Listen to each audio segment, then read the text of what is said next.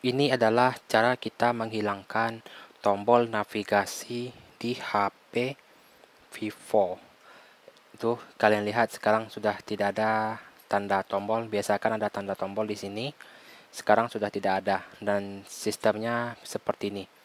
Kalau kalian geser ke sini, itu kembali. Kalau ke tengah, ini aplikasi terakhir dibuka.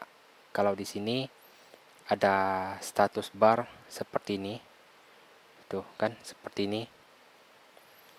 Nah jadi kalian bisa mengaturnya atau menghilangkan itu sa caranya sangat mudah. Kalian pergi ke pengaturan. Nah di sini kalian pergi ke navigasi sistem. Ke sini. Di sini kalian pilih gerakan navigasi. Seperti ini jadi kan kalau awalnya seperti ini ya ada tombol nih kan ada tombol. Tuh ada tombol ya. Jadi di sini kalian tekan. Nah kemudian di sini kalian pergi ke sini aja. Kalian pergi ke nah ini sudah aktif. Jadi kalian pergi ke uh, sini ya sebentar ya.